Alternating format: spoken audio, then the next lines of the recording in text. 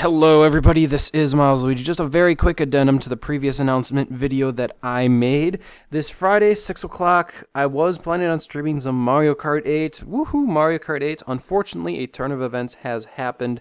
Something personal has come up in my life and I will not be able to stream that day. It is just not going to work out you wouldn't understand unless you were older. Regardless, regardless, no stream Friday nights, and sadly, with my current work schedule, it pretty much is impossible for me to try to stream either Saturday night or Sunday night either, because I work Saturday, Sunday.